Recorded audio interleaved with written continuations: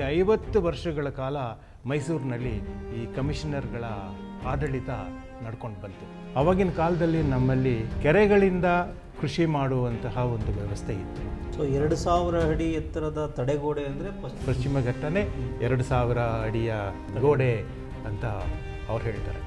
ಮದ್ರಾಸ್ ಸರ್ಕಾರಕ್ಕೆ ಬ್ರಿಟಿಷ್ ಸರ್ಕಾರಕ್ಕೆ ಹರಿದು ಹೋಗ್ತಾ ಇರೋ ನೀರಿನ ಶೇಖರಣೆಗಾಗಲಿ ಅಥವಾ ಬೇರೆ ಕಡೆಗೆ ತಿರುಗಿಸ್ಕೊಳ್ಳೋದಾಗಲಿ ಆ ರೀತಿಯಾದಂತಹ ಯಾವುದೇ ಯೋಜನೆ ಬಂದ್ರೂ ನಮ್ಮ ಸಮ್ಮತಿಯನ್ನು ಕೊಡೋದಕ್ಕೆ ಸಾಧ್ಯ ಇಲ್ಲ ಅಂತ ಹೇಳ್ಬಿಟ್ರು. ಈ ಕರೆಸ್ಪಾಂಡೆನ್ಸ್ ಶುರುವಾಗಿದ್ದು ಸಾವಿರದ ಎಂಟುನೂರ ಎಂಬತ್ತ ಎಂಟು ಸ್ಯಾಂಕಿಯವರು ವರದಿ ಬಂದಿದ್ದು ಸಾವಿರದ ಎಂಟುನೂರ ಅರವತ್ತಾರು ಅರವತ್ತಾರು ಇಪ್ಪತ್ತೆರಡು ವರ್ಷಗಳ ನಂತರ.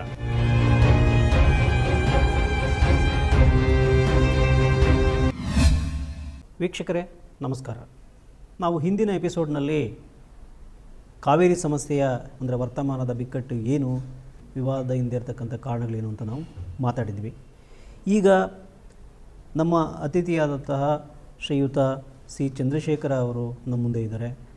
ಸಮಸ್ಯೆ ಇನ್ನೂ ಮೂಲಕ್ಕೆ ಹೋಗಿ ನಾವು ವಿಷಯಗಳನ್ನ ಅರ್ಥ ಮಾಡ್ಕೊಳ್ಳೋಕೆ ಪ್ರಯತ್ನ ಮಾಡೋಣ. ನಮ್ಮ ಎಲ್ಲ ಪ್ರಶ್ನೆಗಳಿಗೆ ಅವರು ಉತ್ತರ ಕೊಡಲಿಕ್ಕೆ ಅಧ್ಯಯನ ಪೂರ್ಣವಾಗಿ ತಯಾರಿ ಮಾಡಿಕೊಂಡು ನಮ್ಮ ಮುಂದೆ ಇದ್ದಾರೆ. ಸೊ ನಿಮ್ಮೆಲ್ಲರ ಪರವಾಗಿ ಅವ್ರನ್ನ ಸ್ವಾಗತಿಸೋಣ. ನಮಸ್ಕಾರ ನಮಸ್ಕಾರ. ಸರ್ ಈ ಕಾವೇರಿ ವಿವಾದದ ಕೇಂದ್ರ ಬಿಂದು ಕೃಷ್ಣರಾಜ ಸಾಗರ ಜಲಾಶಯ.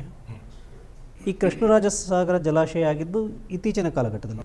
ಸೊ ಅದಕ್ಕೆ ಪೂರ್ವದಲ್ಲಿ ನಮ್ಮ ನೀರಾವರಿ ಪರಿಸ್ಥಿತಿ ಏನಿತ್ತು? ಕಾವೇರಿ ಜಲಾಶಯ ಆಗೋದಕ್ಕೆ ಮುಂಚೆ ನಮ್ಮ ಕಾವೇರಿ ನದಿಯ ಹಕ್ಕನ್ನು ನಾವು ಹೇಗೆ ಬಳಸ್ಕೊತಾ ಇದ್ವಿ ಅಥವಾ ಇಲ್ವಾ? ಏನಂದ್ರೆ ಹಿನ್ನೆಲೆ ಏನು ಸ್ವಲ್ಪ ನಮ್ಮ ನೀರಾವರಿ ವ್ಯವಸ್ಥೆ ಹೇಗಿತ್ತು? ಆ, ಈ ಪ್ರಶ್ನೆಗೆ ನಾನು ನಿಮಗೆ ಉತ್ತರ ಕೊಡಬೇಕು ಅಂತಂದರೆ ಸುಮಾರು ತೊಂಬತ್ತ ವರ್ಷಗಳ ಅವಧಿಯನ್ನು ನಾನು ನಿಮ್ಮ ಮುಂದೆ ಇಡಬೇಕಾಗತ್ತೆ.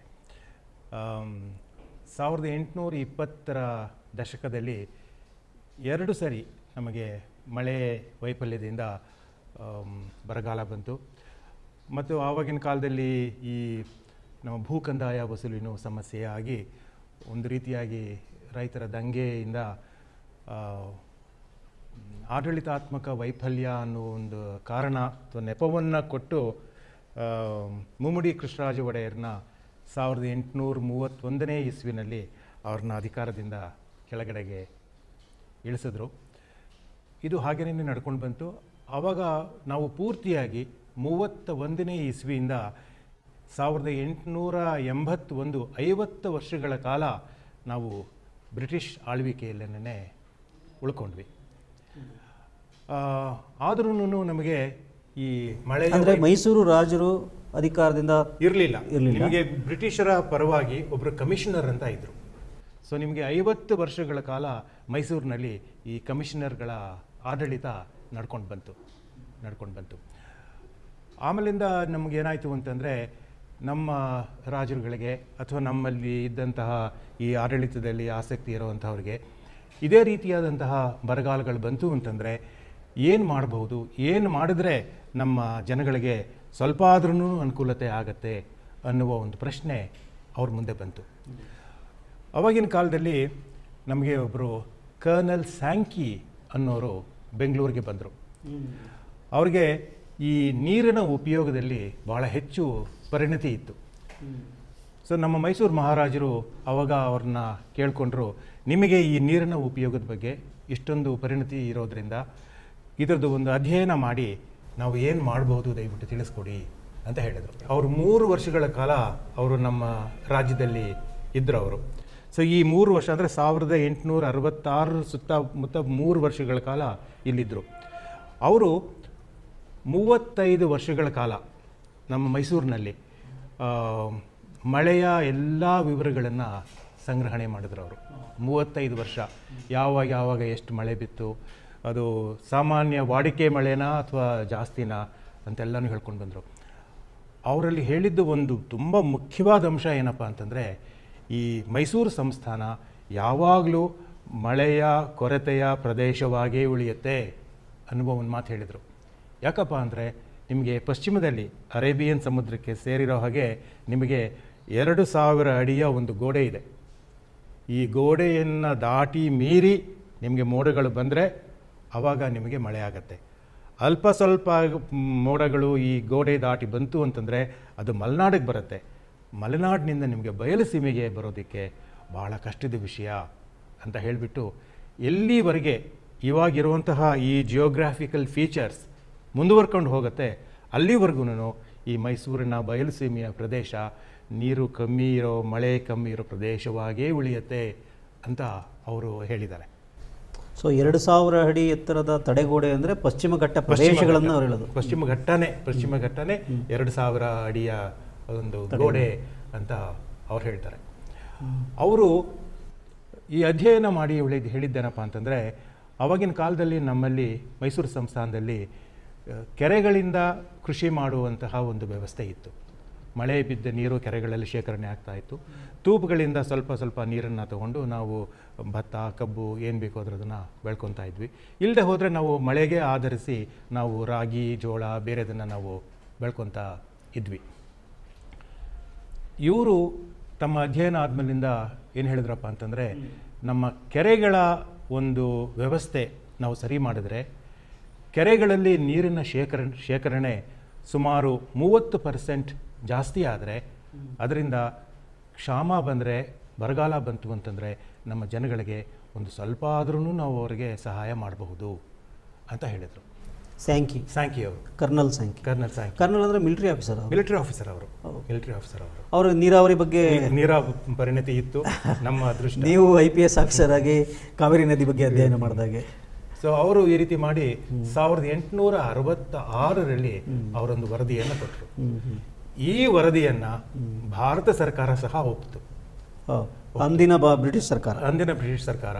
ಸೊ ನಮ್ಮ ಮೈಸೂರು ಸರ್ಕಾರ ಇದನ್ನು ಮಡ್ರಾಸ್ ಪ್ರೆಸಿಡೆನ್ಸಿಯ ಮುಂದೆ ಇಟ್ಟು ನಾವು ಬ್ರಿಟಿಷ್ ನೇರ ಆಳ್ವಿಕೆಯಲ್ಲಿ ಇರೋವಾಗ ಈ ವರದಿಯನ್ನು ಕರ್ನಲ್ ಸ್ಯಾಂಕಿ ಕೊಟ್ಟಿದ್ದಾರೆ. ಇದನ್ನು ಬ್ರಿಟಿಷ್ ಸರ್ಕಾರ ಒಪ್ಪಿದೆ. ಅದಕ್ಕೋಸ್ಕರ ನಮ್ಮ ಈ ಕೆರೆಗಳ ದುರಸ್ತಿಯನ್ನು ಮಾಡೋದಕ್ಕೆ ನಮಗೆ ಅವಕಾಶ ಮಾಡಿಕೊಡಬೇಕು ಅಂತ ಹೇಳಿದಾಗ ಬ್ರಿಟಿಷ್ ಮಡ್ರಾಸ್ ಪ್ರೆಸಿಡೆನ್ಸಿ ಏನು ಹೇಳಿದ್ರಪ್ಪ ಅಂತಂದರೆ ಮದ್ರಾಸ್ ಪ್ರೆಸಿಡೆನ್ಸಿಗೂ ಈ ವ್ಯವಹಾರಕ್ಕೂ ಯಾವುದೇ ಸಂಬಂಧ ಇಲ್ಲ. ನೀವು ಕರ್ನಲ್ ಸ್ಯಾಂಕಿ ಅವರಿಗೆ ಈ ರೀತಿಯಾದ ಅಧ್ಯಯನ ಮಾಡಬೇಕು ಅಂತ ಹೇಳಿದಾಗ ಮದ್ರಾಸ್ ಪ್ರೆಸಿಡೆನ್ಸಿ ಅದರಲ್ಲಿ ಪಾರ್ಟಿ ಆಗಿರಲಿಲ್ಲ. ಇದರಲ್ಲಿ ನಾವು ಭಾಗಿ ಆಗಿರಲಿಲ್ಲ. ಅದಕ್ಕೋಸ್ಕರ ನಮ್ಮ ಕಡೆಯಿಂದ ನೀವು ಇದಕ್ಕೆ ಒಪ್ಪಿಗೆ ಬೇಕು ಅಂತ ಕೇಳೋದರಲ್ಲಿ ಅರ್ಥ ಇಲ್ಲ. ನಮಗೂ ಕರ್ನಲ್ ಸ್ಯಾಂಕಿ ಅವರ ವರದಿಗೂ ಯಾವುದೇ ರೀತಿಯಾದಂಥ ಸಂಬಂಧ ಇಲ್ಲ ಅಂತ ಹೇಳ್ಬಿಟ್ರು. ಮದ್ರಾಸ್ ಪ್ರೆಸಿಡೆನ್ಸಿ ಮದ್ರಾಸ್ ಪ್ರೆಸಿಡೆನ್ಸಿ ಅಂದರೆ ಇಟ್ ಈಸ್ ನಾಟ್ ಬೈಂಡಿಂಗ್ ಅನ್ನೋ ನನ್ನ ಹತ್ರ ನಾಟ್ ಬೈಂಡಿಂಗ್ ಅಂತಲ್ಲ ನಾವು ಇದನ್ನು ಒಪ್ಪಕ್ಕೆ ಸಾಧ್ಯ ಇಲ್ಲ. ಒಪ್ಪಕ್ಕೆ ಸಾಧ್ಯ ಇಲ್ಲ. ಒಪ್ಪಕ್ಕೆ ಸಾಧ್ಯ ಇಲ್ಲ ಅನ್ನೋದು ಇದು.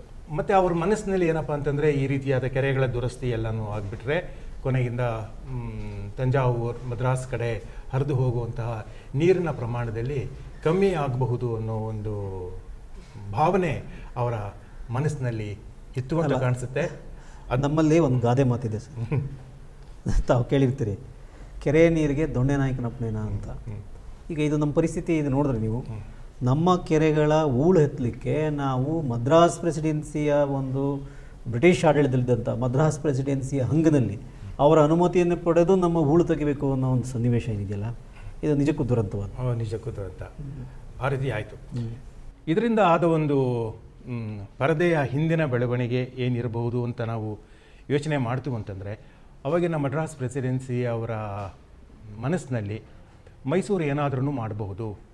ಈ ರೀ, ಈ ರೀತಿಯಾಗಿ ಕೆರೆಗಳಲ್ಲಿ ಹೂಳೆತ್ತುವ ಕೆಲಸ ಮತ್ತು ಕೆರೆಗಳಲ್ಲಿ ಹೆಚ್ಚು ನೀರಿನ ಶೇಖರಣೆ ಮಾಡಬಹುದು ಅನ್ನುವ ಒಂದು ಹೆದರಿಕೆ ಅಥವಾ ಒಂದು ಒಂದು ಅನಿಸಿಕೆ ಅವರ ಮನಸ್ಸಿಗೆ ಬಂದಿರಬಹುದು. ಅದಕ್ಕೋಸ್ಕರ ಅವರು ಒಂದು ಒಪ್ಪಂದದ ಮುಖಾಂತರ ಇದಕ್ಕೆ ನಾವು ಒಂದು ಒಂದು ಒಂದು ಅಫಿಷಿಯಲ್ ಆಗಿ ಏನಾದರೂ ಒಂದು ನಿರ್ಬಂಧ- ಒಂದು ನಿರ್ಬಂಧ ಇಡ್ಬೇಕು. ನಿರ್ಬಂಧ ಇಡಬೇಕು ಅಂತ ಹೇಳಿ ಆಗ ಅವರು ಈ ರೀತಿಯಾದಂಥ ಒಂದು ನಿರ್ಬಂಧ ಮಾಡಬೇಕು ಅಂತ ಇದ್ದೀವಿ ಅಂತ ಹೇಳಿಬಿಟ್ಟು ಆಗ ಅವರು ಒಂದು ಪತ್ರ ಬರೆದರು. ಅಂದರೆ ಮದ್ರಾಸ್ ಪ್ರೆಸಿಡೆನ್ಸಿಯಿಂದ ಮೈಸೂರು ಸರ್ಕಾರಕ್ಕೆ. ಮೈಸೂರು ಸರ್ಕಾರ. ಮೈಸೂರು ಸರ್ಕಾರಕ್ಕೆ. ಇದು ಯಾವಾಗ ಸರ್ ಸಾಮಾನ್ಯ? ಇದು ಇದು ಶುರುವಾಗಿದ್ದು ಈ ಕರೆಸ್ಪಾಂಡೆನ್ಸ್ ಶುರುವಾಗಿದ್ದು ಸಾವಿರದ ಎಂಟುನೂರ ಎಂಬತ್ತ ಎಂಟು ಸ್ಯಾಂಕಿ ಅವರು ವರದಿ ಬಂದಿದ್ದು ಸಾವಿರದ ಎಂಟುನೂರ ಅರವತ್ತಾರು ಅರವತ್ತಾರು. ಇಪ್ಪತ್ತೆರಡು ವರ್ಷಗಳ ನಂತರ ನಂತರ. ಆ, ಅವಾಗ ನಮ್ಮ ದಿವಾನ್ ಶೇಷಾದ್ರಿಯಾರ್ ಅವರು ಹೇಳಿದರು ನೀವು ನಮಗೆ ಏನು ಮಾಹಿತಿಯನ್ನು ಅಂದರೆ ಅವಾಗ ಮೈಸೂರು ಸಂಸ್ಥಾನದ ದಿವಾನರಾಗಿದ್ದರು ದಿವಾನರಾಗಿದ್ದರು ದಿವಾನರಾಗಿದ್ದರು ಮತ್ತು ಆಡಳಿತ ಪೂರ್ತಿಯಾಗಿ ಅವರ ಅವರ ಅವ್ರ ಕೈಯಲ್ಲಿ ಇತ್ತು. ಸೊ ಮತ್ತೆ ರಾಜರು ರೀಇನ್ಸ್ಟೇಟ್ ಆಗಿದ್ರು. ರಾಜರು ಬಂದಿದ್ರು. ಸಾವಿರದ ಎಂಟುನೂರ ಎಂಬತ್ತೊಂದರಲ್ಲಿ ನಮ್ಮ ಚಾಮರಾಜೇಂದ್ರ ಹತ್ತನೇ ಚಾಮರಾಜೇಂದ್ರ ಒಡೆಯರ್ ಹದಿನೆಂಟನೇ ವರ್ಷದ ಯುವಕ ಮೈಸೂರಿನ ರಾಜರಾಗಿ ಅಧಿಕಾರವನ್ನು ವಹಿಸಿಕೊಂಡರು. ಸಾವಿರದ ಎಂಟುನೂರ ಎಂಬತ್ತ ಒಂದು. ಒಂದರಲ್ಲಿ ಎಂಬತ್ತೊಂದರಲ್ಲಿ. ಅವರು ಈ ಸಮಯದಲ್ಲಿ ಮದ್ರಾಸ್ಗೆ ಹೇಳಿದರು ನೀವು ಏನು ಮಾಡಬೇಕು ಅಂತ ಹೊರಟಿದ್ದೀರಿ. ಇದ್ರ ಪ್ರಕಾರ ಹೋದರೆ ನಮ್ಮ ಮೈಸೂರು ಸಂಸ್ಥಾನದಲ್ಲಿ ಕೃಷಿಯ ಬೆಳವಣಿಗೆ ಸಾಧ್ಯವಾಗೋದೇ ಇಲ್ಲ. ನಮ್ಮ ರೈತರು ಬಹಳ ಸಂಕಷ್ಟದಲ್ಲೇ ಉಳಿಬೇಕಾಗತ್ತೆ. ಈ ರೀತಿಯಾದಂಥ ಒಪ್ಪಿಗೆಗೆ ಒಪ್ಪಂದಕ್ಕೆ ನಾವು ಒಪ್ಪಿಗೆ ಸೂಚಿಸ್ತು ಅಂತಂದರೆ ಮುಂದಿನ ಪೀಳಿಗೆ ನಾವು ಸರಿಯಾಗಿ ಕೆಲಸ ಮಾಡಲಿಲ್ಲ ಮತ್ತು ಮುಂದಿನ ಪೀಳಿಗೆಯ ಶ್ರೇಯಸ್ಸಿಗೆ ತಕ್ಕಂತೆ ಕೆಲಸ ಮಾಡಲಿಲ್ಲ ಅನ್ನೋ ಒಂದು ಆಪಾದನೆ ನಮ್ಮ ಮೇಲೆ ಬರುತ್ತೆ ಅನ್ನೋ ಒಂದು ಮಾತನ್ನು ಅವ್ರು ಹೇಳಿದರು. ಶೇಷಾದ್ರಿ ಶೇಷಾದ್ರಿ ತಮ್ಮ ಪತ್ರದ ಮೂಲಕ ಅವ್ರಿಗೆ ಹೇಳಿದರು. ಮದ್ರಾಸ್ ಪ್ರೆಸಿಡೆನ್ಸಿ ಮದ್ರಾಸ್ ಪ್ರೆಸಿಡೆನ್ಸಿಗೆ ಹೇಳಿದರು. ಈ ಕಾರಣದಿಂದ ಇದನ್ನು ಚರ್ಚೆ ಮಾಡಬೇಕು ಅಂತ ಹೇಳಿಬಿಟ್ಟು ಮೇ ಸಾವಿರದ ಎಂಟುನೂರ ತೊಂಬತ್ತರಲ್ಲಿ ಊಟಿನಲ್ಲಿ ಒಂದು ಸಭೆ ನಡೀತು. ಮೇ ಸಾವಿರದ ಎಂಟುನೂರ ತೊಂಬತ್ತು. ತೊಂಬತ್ತು. ಆ ಮೀಟಿಂಗ್ನ ಉದ್ದೇಶನೇ ಈ ನೀರಿನ ಕುರ್ತು. ಕುರ್ತು. ಅದರಲ್ಲಿ ಅಂದರೆ ಎರಡು ಅಂದರೆ ಮೈಸೂರು ಸಂಸ್ಥಾನ ಮತ್ತು ಮದ್ರಾಸ್ ಪ್ರೆಸಿಡೆನ್ಸಿ ನಡುವೆ. ನಡುವೆ. ನಡುವೆ ಮಧ್ಯಸ್ಥಿಕೆ ಬ್ರಿಟಿಷ್ ಸರ್ಕಾರ ಅಂದ್ರೆ ಅವರು ಒಟ್ಟು ಐದು ಜನ ಇದ್ರು. ಅದರಲ್ಲಿ ದಿವಾನ್ ಶೇಷಾದ್ರಿ ಅಯ್ಯರ್ ಒಬ್ಬರೇ ಭಾರತೀಯರು. ಇನ್ನು ಮಿಕ್ಕದು ನಾಲ್ಕು ಜನನೂ ಬ್ರಿಟಿಷ್ ಬ್ರಿಟಿಷು. ಬ್ರಿಟಿಷ್ನವರು. ಆವಾಗ ನಮ್ಮ ಮೈಸೂರಿನ ರೆಸಿಡೆಂಟ್ ಇದ್ರು. ಇನ್ನೊಬ್ರು ಸ್ಟೋಕ್ಸ್ ಅಂತ ಇದ್ರು. ಇನ್ನು ಇಬ್ರು ಇಂಜಿನಿಯರ್ಗಳು ಅವರು ಇವರು ಇದ್ರು. ಮದ್ರಾಸ್ ಪ್ರೆಸಿಡೆನ್ಸಿ ಅವ್ರು ಅವರೆಲ್ಲರೂ ಸಹ ಬ್ರಿಟಿಷ್ನವರು. ನಮ್ಮ ಶೇಷಾದ್ರಿ ಅಯ್ಯರ್ ಮಾತ್ರ ಭಾರತೀಯ. ಅವ್ರು ಹೇಳಿದರು. ಅವಾಗ ಈ ವಿಷಯನ ಚರ್ಚೆಗೆ ತಗೊಂಡಾಗ ಅವರಂತ ಹೇಳಿದರು ಮೈಸೂರು ಸರ್ಕಾರದಿಂದ ಈ ವಿಷಯದ ಬಗ್ಗೆ ಒಂದು ಚರ್ಚೆಗೆ ಬಂದಿದೆ. ಅನ್ನೋ ವಿಷಯ ಮಾತನಾಡ್ತಾ ಆ ಸ್ಟೋಕ್ಸ್ ಅನ್ನೋರು ಹೇಳಿದರು certain pretensions have been made by Mysore ಅನ್ನೋ ಒಂದು ಪದದಿಂದ ಒಂದು ವಾಕ್ಯದಿಂದ ಅವರು ಇದ್ರ ಬಗ್ಗೆ ಚರ್ಚೆ ಶುರು ಮಾಡ್ತಾರೆ. Pretensions certain pretensions have been made ಏನಪ್ಪ ಅಂತಂದರೆ ಮೈಸೂರಿನವರು ಅವರ ನೆಲದ ಮೇಲೆ ಬೀಳುವ ಎಲ್ಲ ನೀರನ್ನು ತಾವು ಉಪಯೋಗಿಸಿಕೊಳ್ಳಬಹುದು ಅನ್ನೋ ಒಂದು ಮಾತಿನಿಂದ ಅವರು ಈ ಚರ್ಚೆನ ಶುರು ಮಾಡಬೇಕು ಅಂತಿದ್ದಾರೆ ಅಂತ ಹೇಳಿಬಿಟ್ಟು ಅವ್ರು ಹೇಳಿದರು, ಈ ಮೈಸೂ ಮದ್ರಾಸ್ ಸರ್ಕಾರಕ್ಕೆ, ಬ್ರಿಟಿಷ್ ಸರ್ಕಾರಕ್ಕೆ ಹರಿದು ಹೋಗ್ತಾ ಇರೋ ನೀರಿನ ಶೇಖರಣೆಗಾಗಲಿ ಅಥವಾ ಬೇರೆ ಕಡೆಗೆ ತಿರುಗಿಸ್ಕೊಳ್ಳೋದಾಗಲಿ ಆ ರೀತಿಯಾದಂತಹ ಯಾವುದೇ ಯೋಜನೆ ಬಂದ್ರೂ ಅಂತಹ ಯೋಜನೆಗೆ ನಾವು ನಮ್ಮ ಸಮ್ಮತಿ. ಸಮ್ಮತಿಯನ್ನು ಕೊಡೋದಕ್ಕೆ ಸಾಧ್ಯ ಇಲ್ಲ ಅಂತ ಹೇಳಿಬಿಟ್ರು. ಈ ವಿಷಯದಲ್ಲಿ ಶೇಷಾದ್ರಿಯರ್ ಅವ್ರಿಗೆ ಬಹಳ ನೋವಾಗಿ ನೊಂದು ಕೊನೆಗೆ ಅವರು ರೆಸಿಡೆಂಟ್ ಅವ್ರ ಕಡೆಯಿಂದ ಈ ಸಭೆಯ ನಡಾವಳಿಯ ಒಂದು ಪ್ರತಿಯನ್ನು ತಗೊಂಡ್ಬಿಟ್ಟು ಅವರು ಬ್ರಿಟಿಷ್ ಸರ್ಕಾರಕ್ಕೆ ಒಂದು ಪತ್ರವನ್ನು ಬರೆದರು. ಪತ್ರವನ್ನು ಬರೆದರು. ಓದು ಒಂದು ತಿಂಗಳಲ್ಲಿ, ಒಂದು ಒಂದು ತಿಂಗಳಲ್ಲಿ, ಮೇನಲ್ಲಾದರೆ ಜೂನ್ನಲ್ಲಿ ಇವರು ಬ್ರಿಟಿಷ್ ಸರ್ಕಾರಕ್ಕೆ ಒಂದು ಪತ್ರವನ್ನು ಬರೆದರು. ಅವ್ರೇನು ಹೇಳಿದಾರಪ್ಪ ಅಂತಂದರೆ, ಯಾವುದು ಬಹಳ ತುಂಬ ಚಿಕ್ಕದು ಅಂತ ಅನಿಸುತ್ತೆ. ಅಂಥದನ್ನು ಮಾತ್ರ ನಾವು ಮಾಡೋಕ್ಕೆ ಸಾಧ್ಯ. ಆದರೆ ನಮ್ಮ ರೈತರಿಗೆ ಸಹಾಯ ಆಗೋ ರೀತಿಯಲ್ಲಿ ಒಂದು ದೊಡ್ಡ ಪ್ರಮಾಣದ ಒಂದು ಕೆಲಸವನ್ನು ಮಾಡಬೇಕು. ನಮ್ಮ ಕೃಷಿಯ ಅಭಿವೃದ್ಧಿ ದೃಷ್ಟಿ ಇಟ್ಕೊಂಡು ನಾವು ಮಾಡಬೇಕು ಅಂತ ಹೊರಟ್ರೆ ಅಂಥ ಕೆಲಸಗಳನ್ನ ಮಾಡೋದಕ್ಕೆ ಸಾಧ್ಯ ಇಲ್ಲ ಅನ್ನೋ ಒಂದು ಮಾತನ್ನು ಅವರು ಅವಾಗಲೇ ಈ ಸಭೆ ಆದ ಒಂದು ತಿಂಗಳಲ್ಲೇನೆ ಬ್ರಿಟಿಷ್ ಸರ್ಕಾರಕ್ಕೆ ಮನವರಿಕೆ ಮನವರಿಕೆ ಮಾಡಿಕೊಟ್ರು. ಅಂದರೆ ನಮಗೆ ಕೆರೆ ನಮ್ಮ ಕೆರೆಗಳಲ್ಲಿ ಇದ್ದಂಥ ಸಣ್ಣ ಪುಟ್ಟ ಜಲಾಶಯಗಳ ಅದು ಜಲಾಶಯಗಳಿಗೆ ಹೋಲಿಕೆ ಮಾಡಿದ್ರೆ ಕೆರೆಗಳು ಬರೀ ಕೆರೆಗಳನ್ನೇ ಇದ್ದಿದ್ದು. ಕೆರೆಗಳಲ್ಲಿ ಹೂಳು ತಗೊಂಡು ರಿಪೇರಿ ಮಾಡಿಕೊಂಡು ನೀರು ತುಂಬಿಸ್ಕೋತೀವಿ ಮಳೆ ನೀರನ್ನ ಅಥವಾ ನದಿ ನೀರನ್ನ ಅಂತಂದ್ರೆ ಅದಕ್ಕೆ ಅವಕಾಶ ಇಲ್ಲದೆ ಅವಕಾಶ ಮಾಡ್ಕೊಂಡು ಜಲಾಶಯಕ್ಕೆ ಹೆಂಗೆ ಜಲಾಶಯ ನಿರ್ಮಾಣಕ್ಕೆ ಹೆಂಗೆ ಅವಕಾಶ ಕೊಟ್ಟರು ನಂತರದಲ್ಲಿ? ಅದಕ್ಕೆ ಹೇಳಿದರು ನೀವು ಯಾವುದೇ ರೀತಿಯಾದಂತಹ ಈ ರೀತಿಯಾದ ಯೋಜನೆಗಳನ್ನ ಇಟ್ಕೊಂಡ್ರೆ ಅಂಥ ಯೋಜನೆಗಳಿಗೆ ನಾವು ಸಮ್ಮತಿ ಕೊಡೋದಕ್ಕೆ ಸಾಧ್ಯ ಇಲ್ಲ ಅನ್ನೋ ಮಾತನ್ನು ಬಹಳ ನೇರವಾಗಿ ಹೇಳಿಬಿಟ್ರು. ಇದಾದ ಮೇಲೆ ನಿಮಗೆ ಸಾವಿರದ ಎಂಟುನೂರ ತೊಂಬತ್ತೆರಡರ ಮೊದಲನೇ ಒಪ್ಪಂದ ಆಯಿತು. ಈ ತೊಂಬತ್ತೆರಡರ ಒಪ್ಪಂದದಲ್ಲಿ ನಾಲ್ಕು ಮುಖ್ಯವಾದ ಅಂಶಗಳು. ಏನಪ್ಪ ಅಂತಂದರೆ ಮೊದಲನೇದು ಮೈಸೂರು ಏನಾದ್ರೂ ಈ ಕಾವೇರಿಯ ಅಡ್ಡಲಾಗಿ ಏನಾದ್ರೂ ಒಂದು ಸೇತುವೆ ಅಥವಾ ಒಂದು ಜಲಾಶಯ ಕಟ್ಟಬೇಕು ಅನ್ನೋ ಒಂದು ಯೋಜನೆ ಕಟ್ಟಬೇಕು ಕಟ್ಟಬೇಕು ಅಂತ ಇತ್ತು ಅಂತಂದರೆ ಇದ್ರ ಎಲ್ಲ ಸಂಪೂರ್ಣ ವಿವರಗಳನ್ನು ಕೊಟ್ಟು ನಮ್ಮಿಂದ ನಮ್ಮಿಂದ ಪ್ರಯರ್ ಕನ್ಸೆಂಟ್ ನಮ್ಮಿಂದ ತಗೋಬೇಕು ಅಂದರೆ Madras presidency Madras presidency Madras presidency ನಮ್ಮ ಪೂರ್ವಾನುಮತಿಯನ್ನು ಪಡೆದು ಪಡೆಯಬೇಕು ಅಂತ ಹೇಳಿದರು.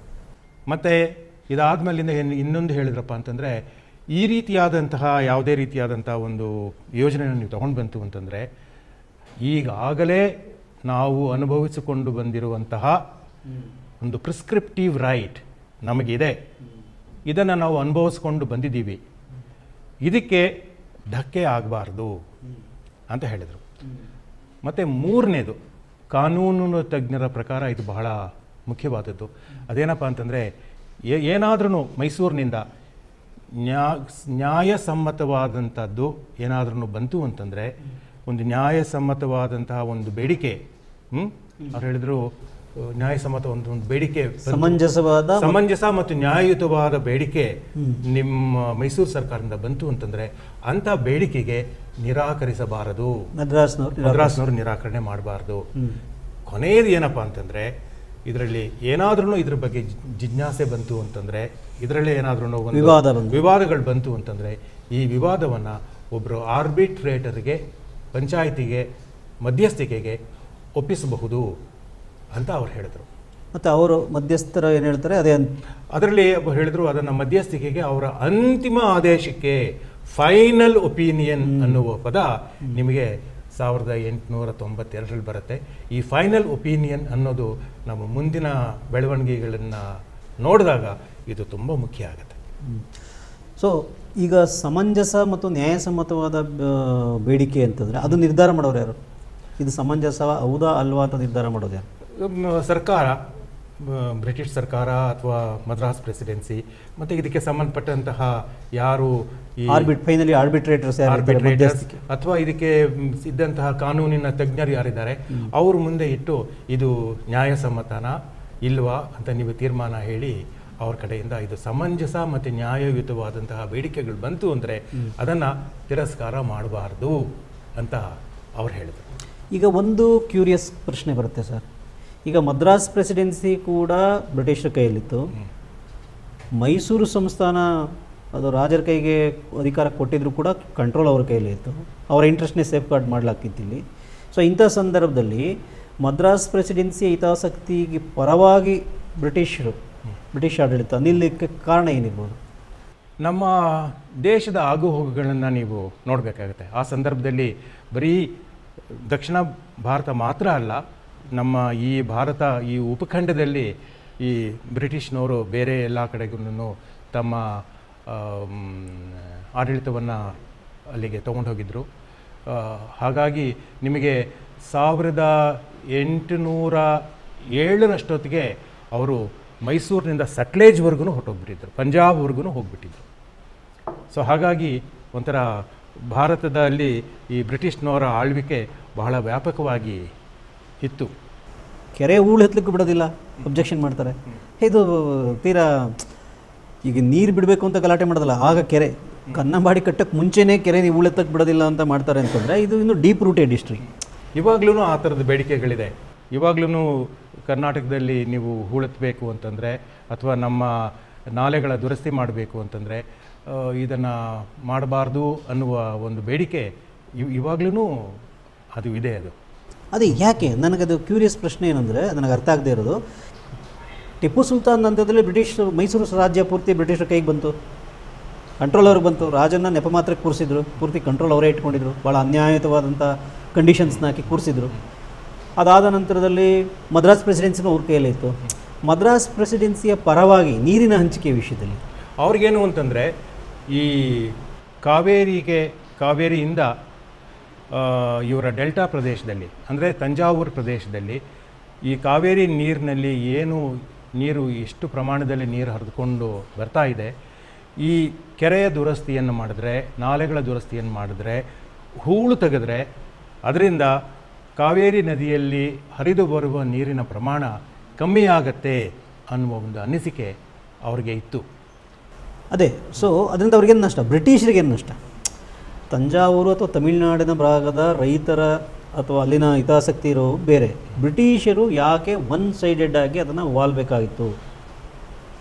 ಬ್ರಿಟಿಷರ ಇಂಟ್ರೆಸ್ಟ್ ಏನು ಅದರಲ್ಲಿ ಅವರು ಹೇಳ್ತಿದ್ರೆ ನಾವು ನಮ್ಮ ಅಧೀನದಲ್ಲಿ ಯಾರು ಕೆಲಸ ಮಾಡ್ಕೊಂಡಿರ್ತಾರೆ, ಅದಕ್ಕೆ ನಾವು ಯಾವಾಗಲೂ ಬ್ರಿಟಿಷ್ ಇಂಟ್ರೆಸ್ಟ್ನ ಪ್ರೊಟೆಕ್ಟ್ ಮಾಡೋದು ನಮ್ಮ ಧರ್ಮ ಅಂತ ತಿಳ್ಕೊಂಡ್ಬಿಟ್ಟಿದ್ರು ಅವರು. ಬೇರೆ ಬೇರೆ ಸಂದರ್ಭಗಳಲ್ಲಿ ಅವ್ರು ಹೇಳಿದ್ದಾರೆ, ನಮಗೆ ಬ್ರಿಟಿಷ್ ಇಂಟ್ರೆಸ್ಟ್ನ ರಕ್ಷಣೆ ಮಾಡೋದು ನಮ್ಮ ಧರ್ಮ ಅನ್ನೋ ರೀತಿಯಲ್ಲಿ ಅವರು ನಡ್ಕೊಂಡು ಬಂದರು ಅವರು. ಸೊ ಹಾಗಾಗಿ ಈ ಅವರ ಆಡಳಿತ, ಅವರ ಈ ವ್ಯಾಪ್ತಿಯಲ್ಲಿ ಏನೇನು ಬರ್ತಾ ಇತ್ತು, ಅದು ಎಲ್ಲವನ್ನೂ ಅವರು ತಮ್ಮ ಅಧೀನದಲ್ಲಿ ಇಟ್ಕೋಬೇಕು ಅನ್ನೋದು ಅವರ ಆಸೆ ಆಗಿತ್ತು. ಸರಿ ಸರ್. ಈಗ ಈ ನಂತರದಲ್ಲಿ ಸಾವಿರದ ಎಂಟುನೂರ ತೊಂಬತ್ತೆರಡರ ಒಪ್ಪಂದ, ಒಪ್ಪಂದದಲ್ಲಿ ಈ ಮುಖ್ಯಾಂಶಗಳೇನಿತ್ತು ಅಂತ ತಾವು ಹೇಳಿದ್ರಿ. ಆ ನಂತರದಲ್ಲಿ ಏನಾಯಿತು ನಂತರದ ಆ್ಯಕ್ಚುಲಿ ಅದರ ನಂತರದಲ್ಲೇ ಈ ಯೋಜನೆಗಳು ಕರ್ನಾಟಕದ ನೀರಾವರಿ ಯೋಜನೆ ವಿದ್ಯುತ್ ಶಕ್ತಿ ಯೋಜನೆ ಇತ್ಯಾದಿಗಳೆಲ್ಲ ಬಂದಿದ್ದು ಎಂಟುನೂರ ತೊಂಬತ್ತೆರಡರ ಒಪ್ಪಂದದ ನಂತರದ ನಂತರ ನಂತರ. ಅದೇನಾಯ್ತು? ಅದರ ಸ್ವಲ್ಪ ಅದರ ಇತಿಹಾಸಕ್ಕೆ ಹೋಗ್ಬೋದು. ಅದರಲ್ಲಿ ನಮಗೆ ಇದು ಮೊದಲನೇ ಬೆಳವಣಿಗೆ ಸಾವಿರದ ಒಂಬೈನೂರು. ಸಾವಿರದ ಒಂಬೈನೂರರಲ್ಲಿ ನಮ್ಮ ಶಿವನ ಸಮುದ್ರಂ. ಅದನ್ನು ಶಿಂಶ ಅಂತ ಹೇಳ್ತಾರೆ ಶಿವನ ಸಮುದ್ರಂ. ಶಿವನ ಸಮುದ್ರದಲ್ಲಿ ಒಂದು ವಿದ್ಯುಚ್ಛಕ್ತಿ ಘಟಕವನ್ನು ನಾವು ಸ್ಥಾಪನೆ ಮಾಡಬೇಕು ಅನ್ನೋ ಒಂದು ಪ್ರಸ್ತಾವನೆ ಬಂತು.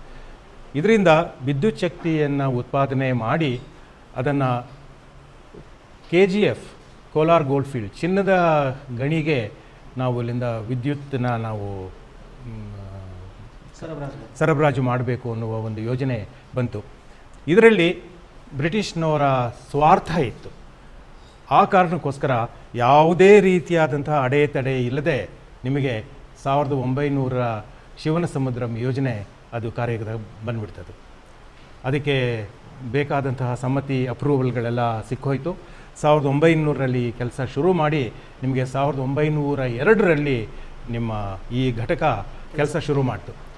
ಕೆಲಸ ಶುರು ಮಾಡಿದ ಮೇಲೆ ಆವಾಗ ನಿಮಗೆ ಶಿವನ ಸಮುದ್ರಮಿಂದ ಕೆ ಜಿ ಎಫ್ಗೆ ಒಂದು ಪವರ್ ಲೈನನ್ನು ಡ್ರಾ ಮಾಡಿದ್ರು. ಆವಾಗ ಅದರದ್ದು ಉದ್ದ ಸುಮಾರು ನೂರ ನಲವತ್ತು ಕಿಲೋಮೀಟರ್.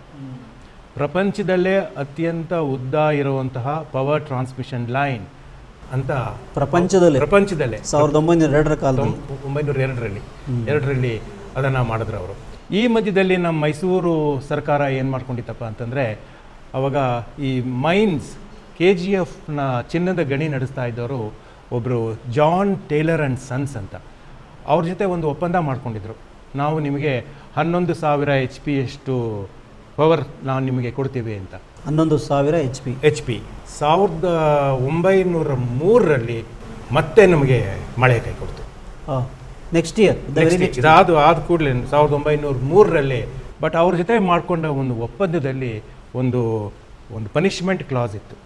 ಏನಪ್ಪ ಅಂತಂದರೆ ನೀವು ಏನಾದರೂ ಕಾರಣಕ್ಕೋಸ್ಕರ ನಮ್ಗೆ ಒಪ್ಪಂದ ಆಗಿರುವಷ್ಟು ವಿದ್ಯುತ್ ಶಕ್ತಿಯನ್ನು ನೀವು ಸರಬರಾಜು ಮಾಡೋಕ್ಕೆ ಸಾಧ್ಯವಾಗಿಲ್ಲದೆ ಹೋದರೆ ನೀವು ನಮಗೆ ದಂಡವನ್ನು ಕಟ್ಟಬೇಕು ಅನ್ನೋದು ಒಂದು ಅವರ ಒಪ್ಪಂದದಲ್ಲಿ ಇತ್ತು. ಅದರ ಪ್ರಕಾರ ಸಾವಿರದ ಒಂಬೈನೂರ ಮೂರರಲ್ಲಿ ಮೈಸೂರು ಸರ್ಕಾರ ಜಾನ್ ಟೇಲರ್ ಆ್ಯಂಡ್ ಸನ್ಸ್ ಕಂಪ್ನಿಗೆ ಮೂವತ್ತೆಂಟು ಸಾವಿರ ಪೌಂಡ್ ಸ್ಟರ್ಲಿಂಗ್ ಜಾನ್ ಇಪ್ಪತ್ತು ವರ್ಷದ ಹಿಂದೆ John Taylor and company. John Taylor and ಸನ್ಸ್ಗೆ ಮೂವತ್ತೆಂಟು ಸಾವಿರ ಪೌಂಡ್ ಸ್ಟರ್ಲಿಂಗ್. ಅವಾಗಿನ ರುಪಿಯ ಬೆಲೆ ಎಷ್ಟು? ಇವಾಗಿನ ಎಸ್ಕಲೇಷನ್ ಎಷ್ಟು ಅಂತ ನೋಡ್ತು ಅಂತಂದರೆ ಇದು ಎಷ್ಟು ಲಕ್ಷ ಕೋಟಿ ಆಗತ್ತೆ ಅಂತ ಒಂದು ನನಗೆ ಇದನ್ನು ಊಹೆ ಮಾಡಲಿಕ್ಕೆ ಅಥವಾ ಲೆಕ್ಕಾಚಾರ ಮಾಡೋದಕ್ಕೆ ನನಗೆ ಸಾಧ್ಯ ಇಲ್ಲ. ಆವಾಗ ನಮ್ಮ ಮೈಸೂರು ಮಹಾರಾಜರು ಮುಂದೆ ಇದ್ದಂಥ ಒಂದು ಸಮಸ್ಯೆ ಏನಪ್ಪ ಅಂತಂದರೆ ಈ ರೀತಿಯಾದಂತಹ ಸನ್ನಿವೇಶ ಮತ್ತೆ ಮರುಕಳಿಸಬಾರದು, ನಾವು ಏನು ಮಾಡಬಹುದು ಅಂತ ಹೇಳಿ ಯೋಚನೆ ಮಾಡೋಕ್ಕೆ ಶುರು ಮಾಡಿದ್ರು. ಆಗ ಅವ್ರಿಗೆ ಅನ್ನಿಸ್ತು, ನಾವೆಲ್ಲಾದರೂ ಒಂದು ಕಡೆ ಒಂದು ಅಣೆಕಟ್ಟು ಕಟ್ಟಿದ್ರೆ ಈ ಮಳೆಗಾಲದಲ್ಲಿ ಬಿದ್ದ ಮಳೆಯಿಂದ ಈ ನೀರಿನ ಶೇಖರಣೆ ಆದರೆ ಆ ನೀರನ್ನು ನಾವು ವಿದ್ಯುತ್ ಶಕ್ತಿ ಉತ್ಪಾದನೆಗೆ ಉಪಯೋಗಿಸೋದಕ್ಕೆ ಬಳಸೋಕೆ ಸಾಧ್ಯ ಇತ್ತು ಅಂತಂದರೆ ಈಗ ಫೈನ್ ಕಟ್ಟುವಂತಹ ಪ್ರಮೇಯವನ್ನು ನಾವು ತಡೀಬಹುದು ಅಂತ ಹೇಳಿಬಿಟ್ಟು ಆವಾಗ ಸಾವಿರದ ಒಂಬೈನೂರ ಮೂರರ ನಂತರ ಕನ್ನಂಬಾಡಿ ಕಟ್ಟೆಯಲ್ಲಿ ಒಂದು ಜಲಾಶಯ ಕಟ್ಟಬೇಕು ಅನ್ನುವ ಒಂದು ಆಲೋಚನೆ ಕೆ ಆರ್ ಎಸ್ ಅಲ್ಲಿ ಹುಟ್ಕೊಂತು. ಅಂದರೆ ಬ್ರಿಟಿಷರ ಕಂಪನಿಗೆ ಚಿನ್ನ ನಮ್ಮದು ಗಣಿ ಭೂಮಿ ನಮ್ಮದು ಚಿನ್ನ ನಮ್ಮದು ಮಳೆ ನಮ್ಮದು ಮಳೆ ಈ ಕಡೆ ಮಳೆ ನಮ್ಮದು ನೀರು ನಮ್ಮದು ಇದೆಲ್ಲವೂ ಇದ್ದಾಗಿ ಕೂಡ ಲಾಭ ಮಾತ್ರ. ಅಲ್ಲಿ ಚಿನ್ನ ಅವ್ರದ್ದು ಇಲ್ಲಿ ಎಲೆಕ್ಟ್ರಿಸಿಟಿ ನಾವು ಉತ್ಪಾದನೆ ಮಾಡಿ ಕಳಿಸೋದು ಅವ್ರಿಗೆ ಕಳಿಸ್ಬೇಕು. ಒಂದು ವೇಳೆ ಮಳೆ ಇಲ್ಲದೆ ನಾವು ಮಳೆಗಾಲ ಕಡಿಮೆ ಆಗಿ ಬರಗಾಲ ಬಂದು ನಾವು ವಿದ್ಯುತ್ ಉತ್ಪಾದನೆ ಮಾಡ್ಲಿಕ್ಕೆ ಆಗಿಲ್ಲ ಅಂದ್ರೆ ಅದಕ್ಕೆ ದಂಡನೂ ಕಟ್ಟಿ ದಂಡನ ಕಟ್ಟಿ ಇಂಥ ಒತ್ತಡವನ್ನು ತಪ್ಪಿಸ್ಕೊಳ್ಬೇಕು ಅನ್ನೋ ಒಂದು ಪರಿಸ್ಥಿತಿಯಲ್ಲಿ ಅಣೆಕಟ್ಟು ಯೋಜನೆಯನ್ನು ಮಾಡಿಕೊಂಡು ನಾವು ಈ ದಂಡ ತಪ್ಪಿಸ್ಕೊಳ್ಳೋಣ ಬ್ರಿಟಿಷರಿಂದ ಅಂತ ಹೇಳಿ ಹೌದು. ಈ ಯೋಜನೆ ಶುರುವಾಯಿತು. ಆವಾಗ ಶುರುವಾಯಿತು. ಸೊ ಆವಾಗ ಅವರ ಮನಸ್ಸಿನಲ್ಲಿ ನಾವೊಂದು ಸುಮಾರು ಒಂದು ಹನ್ನೊಂದು ಟಿ ಎಂ ಸಿ ಶೇಖರಣೆ ಮಾಡೋಕ್ಕೆ ಆದರೆ ಒಂದು ವರ್ಷದ ಅವಧಿನಲ್ಲಿ ಮ್ಯಾನೇಜ್ ಮಾಡ್ಬೋದು. ನಮಗೆ ಈ ಶಿವನ ಸಮುದ್ರಂ ವಿದ್ಯುತ್ ಶಕ್ತಿ ಉತ್ಪಾದನಾ ಘಟಕಕ್ಕೆ ನಾವು ಸಾಕಷ್ಟು ನೀರನ್ನು ಸರಬರಾಜು ಮಾಡಬಹುದು ಇದರಿಂದ ಈ ದಂಡ ಕಟ್ಟುವ.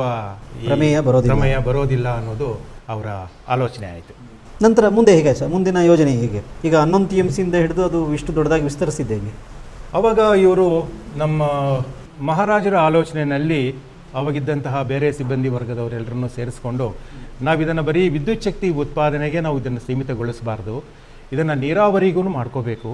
ಯಾಕೆ ಅಂತಂದರೆ ನಮ್ಮ ಮೈಸೂರು ರಾಜ್ಯದಲ್ಲಿ ಮೇಲಿಂದ ಮೇಲೆ ಬರಗಳು ಬರ್ತಾ ಇದೆ ಅಂತೆಲ್ಲ ಹೇಳಿಬಿಟ್ಟು ಅವಾಗ ಸಾವಿರದ ಎಂಟುನೂರ ಎಪ್ಪತ್ತಾರು, ಎಪ್ಪತ್ತೇಳರಲ್ಲಿ ಒಂದು ಭೀಕರ ಕ್ಷಾಮದಲ್ಲಿ ಏಳು ಲಕ್ಷದಿಂದ ಹನ್ನೊಂದು ಲಕ್ಷ ಜನರು ಸಾವಿಗೀಡಾದರು ಅನ್ನೋದು ಮಾತು ನಮ್ಮ ಚರಿತ್ರೆನಲ್ಲಿ ಬರುತ್ತೆ.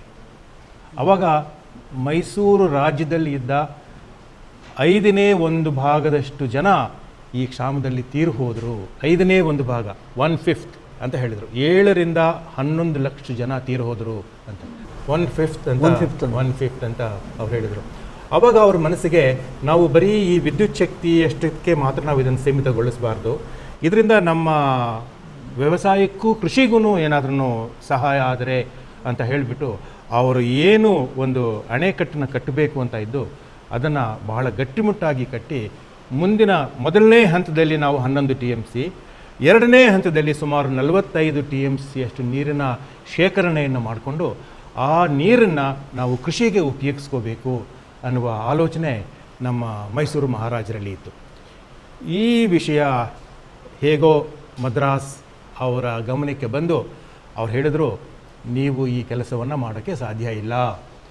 ಯಾಕಪ್ಪ ಅಂತಂದರೆ, ನಮಗೂ ನಿಮಗೂ ಮಧ್ಯದಲ್ಲಿ ಈ ಸಾವಿರದ ಎಂಟುನೂರ ತೊಂಬತ್ತೆರಡರ ಒಪ್ಪಂದ ಇದೆ.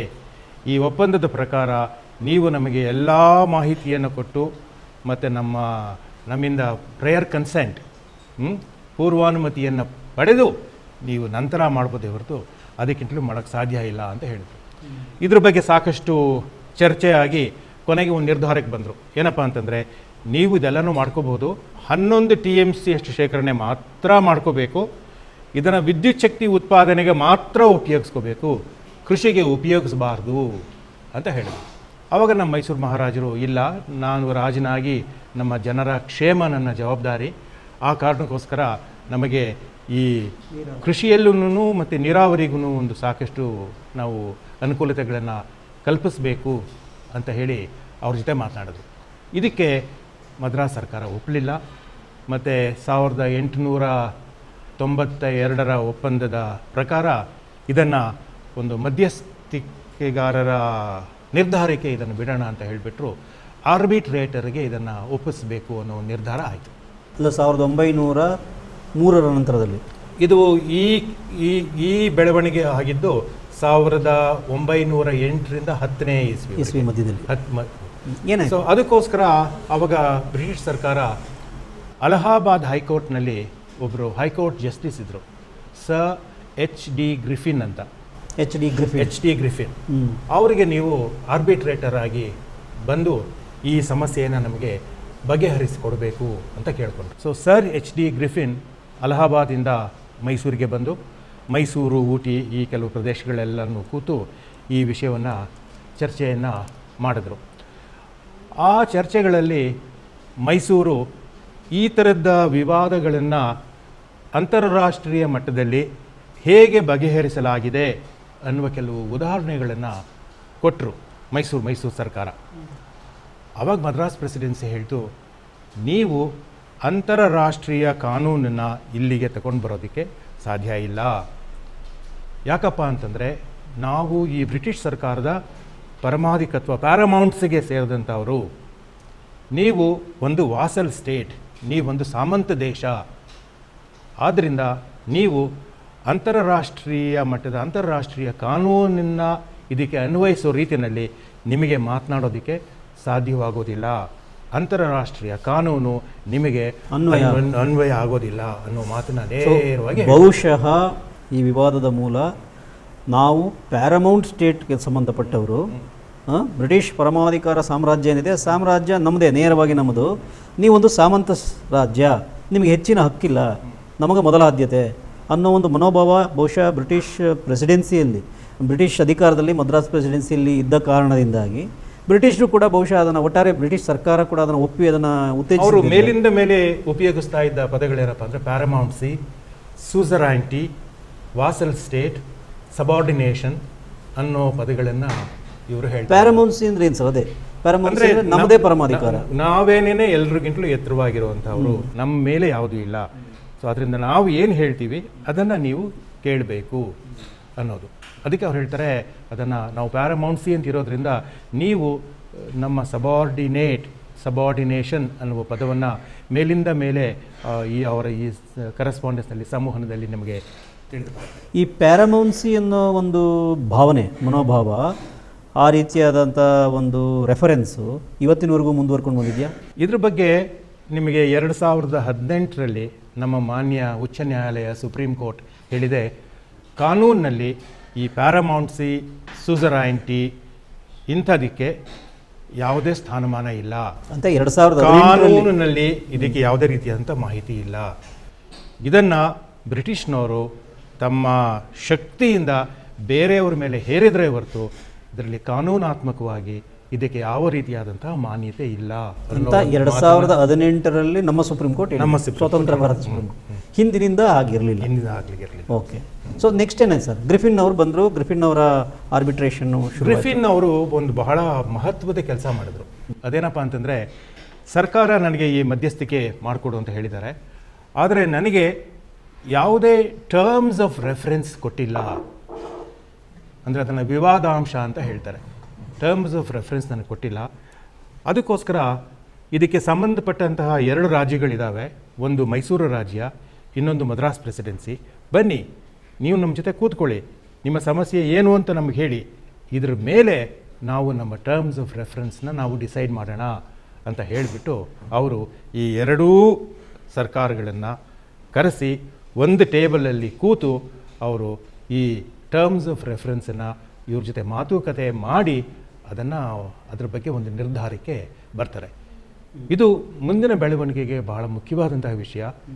ಯಾಕಪ್ಪ ಅಂತಂದರೆ ಇದು ಇದು terms of reference are arrived at after discussions after mutual consent ಮತ್ತು ಅವಾಗ ಹೇಳಿದ್ನಲ್ಲ ನಿಮಗೆ ಫೈನಲ್ ಆರ್ಬಿಟ್ರೇಷನ್ ಅಂತ, ಅವರ ಅಂತಿಮ ತೀರ್ಮಾನಕ್ಕೆ ಅಂತ ಹೇಳಿದ್ನಲ್ಲ ಸೊ ಅಂತಿಮ ತೀರ್ಮಾನವನ್ನು ಅನ್ನೋದು ಮುಖ್ಯವಾಗುತ್ತೆ. ಮತ್ತು ಈ ಸಂಬಂಧಪಟ್ಟ ಎರಡೂ ರಾಜ್ಯಗಳ ಜೊತೆ ಇವರು ಮಾತನಾಡಿ ಈ ವಿವಾದಾಂಶವನ್ನು ತೀರ್ಮಾನ ಮಾಡಿದ್ರು ಅಂತ ಬರುತ್ತೆ. ನಂತರ ಅದು ಸಾವಿರದ ಒಂಬೈನೂರ ಹದಿನಾಲ್ಕರಲ್ಲಿ. ಹದಿಮೂರು ಹದಿನಾಲ್ಕರಲ್ಲಿ ಆಯಿತು.